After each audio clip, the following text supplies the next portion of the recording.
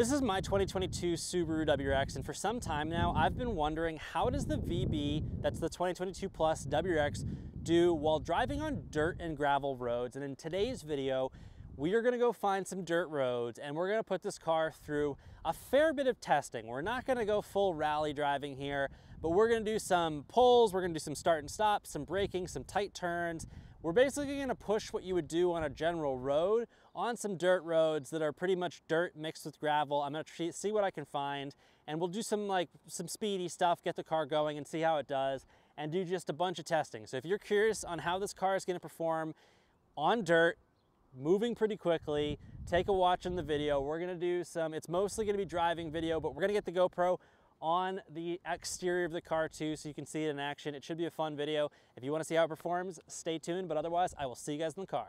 All right guys, we're almost uh, at the dirt road where we're gonna be testing the car. Um, again, we're gonna do some exterior shots and video while we're doing this so you guys can get an idea of the type of dirt and gravel that I'm gonna be on. But this is fairly loose gravel, so we're really going for it here. So I would say that obviously dirt roads are in multiple levels and stages.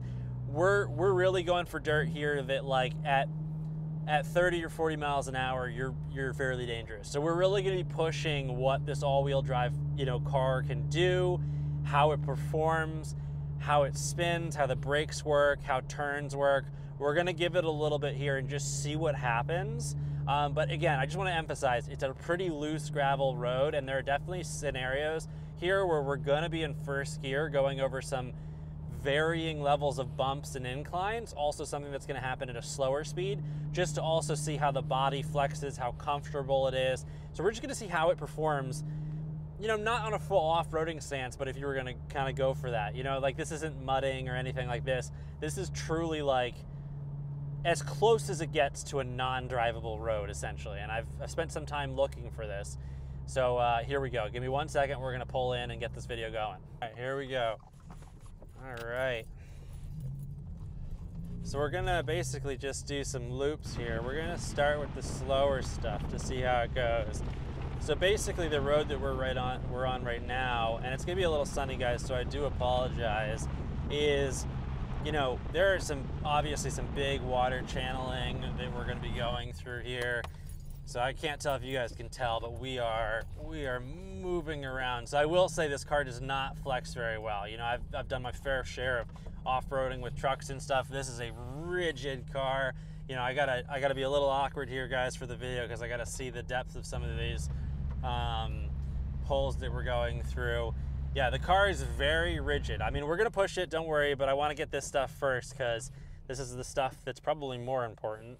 It is a super sunny day, so I apologize, guys. So we're gonna go fairly quickly here over this deep stuff. Again, I just have to be kind of aware because we're very much pushing the stock suspension height here and what we can do. So we're on like truly loose gravel right now. This is as loose as it gets. Um, and we're gonna take, it's gonna be a little bumpy here. Let's see how this car does. Ooh, it's a tight suspension. We're spinning, we're spinning, we're spinning, we're spinning. We're back on. It's doing pretty well. We're at 25 miles an hour. We were just like in constant spin there. We're gonna take a really tight turn here. All right, we're taking a really tight turn. I don't wanna lose the wheels. Uh, we kicked the back a little bit there. We kicked the back a little bit, but we're good. No ABS lights. All right, so we're on like loose gravel right now. We're gonna get up into third. We're going about 30, 33 miles an hour, give or take. My wheels are oversized. You know, and we're a bit of a straightaway here. While you're going straight, it feels really secure. I feel really secure right now. You know, I wouldn't take my hands off the steering wheel. There is some pull as we go over different heights. That's normal with an all-wheel drive system. I'm gonna give it a little bit of side to side and see if we take out. Um, we have pretty good side to side. I mean, I'm definitely I can feel the car wanting to um, wanting to kick a little bit, so that's definitely interesting. But so far, so good. I mean, it's. Uh, I, I think my biggest negative right now is I don't want to know what the exterior of the car is going to look like. It's bumpy. Don't get me wrong. This is a stiff ride. This is extremely stiff. Ooh, here we go. Big bumps. I hit that too fast. I wouldn't go this fast into some of these big bumps. That's what I'm learning right now. I feel fairly locked in here. I would say the biggest concern right now is there's not a huge cloud behind me. So my big concern right this second, oh man, this is a this is a tough turn. All right, we're hitting a turn here really quickly. Let's give it a little space. I'm definitely, okay, I'm spinning, I'm spinning, I'm spinning.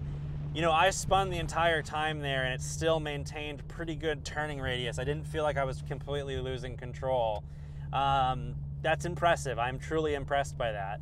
I would say my big concern right now is that there's not a massive plume of dust behind me, which means most of that dust has to be staying in my wheel wells. I don't love that. Let's again do some side to side here. It's it's pretty good. I'm definitely sliding a little bit. I feel like I'm skiing down the hill here. I'm oh, I'm definitely sliding. Um, it's not bad. I mean, I'm in summer tires, which uh, is probably you probably would want all seasons or maybe even snows or some type of all terrains. Let's take a tight turn here. Whoop. we lost the back a little bit there. I mean, it's pretty good. You know, I know I'm just like giving you guys a feedback loop, but I'm really putting this car through something. Ooh, very tight suspension. I mean, it's doing pretty good. I'm pretty impressed. I mean, I didn't think I was ever going to do this with this car, but uh, I mean, is it a car that you want to take out and do this every single time you go out? No, it's very tight. The suspension's very tight. It's the type of car that, like, if I hit a big enough divot and I lose contact with a wheel, the whole car lurches. You know, it's tight. Well, guys, hopefully you guys enjoyed the video. I know that that was uh, a different video. I'm gonna go, uh, I'm literally gonna get out of the car right now and start rigging up some of the exterior footage because we're gonna take it after the fact because I'm gonna push the car a little bit harder uh, for some of this exterior stuff so you can see the route that I was just taking. But hope you guys enjoyed the video. Again, not a whole lot of scientific information here, a lot of just like how my feeling was as I pushed the car through the dirt. It handled pretty well. Very much a tight suspension. I mean, I was I was slipping and spinning for a good portion of the turns there. I felt I didn't ever feel like I lost control of the car, which is pretty impressive. So um, you know, I, it's again, I have I've done a lot with the snow. If you watch the channel, I've done a lot of like snow drifting and stuff like that. It's very similar to being in well-packed snow, especially on a very very loose gravel road. Um, so if you do want to take this car off-roading, I mean, look, th there's there's a reason this is a rally car, and it did very very well. So I'm impressed.